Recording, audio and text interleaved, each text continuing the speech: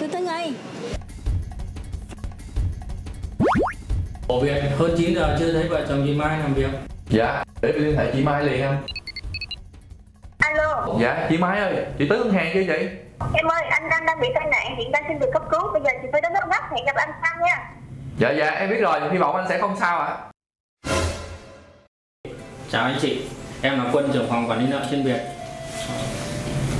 anh chị à, đây là À, giới thiệu với Quân đây là vợ chồng anh Hải bên mua nhà trước tiên thì à, em xin chia buồn với gia đình và mong chị giữ gìn sức khỏe vượt qua khó khăn này.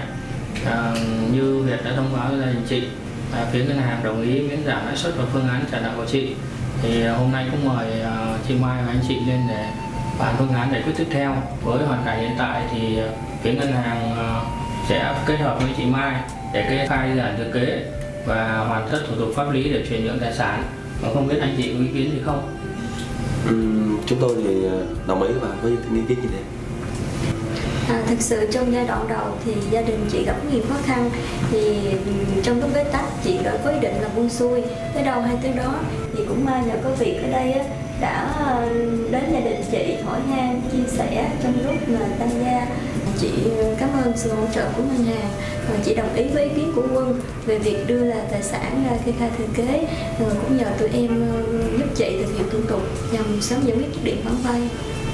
À, về phía ngân hàng thì cũng đã hỗ trợ miễn giảm lãi suất cho chỗ chị Mai.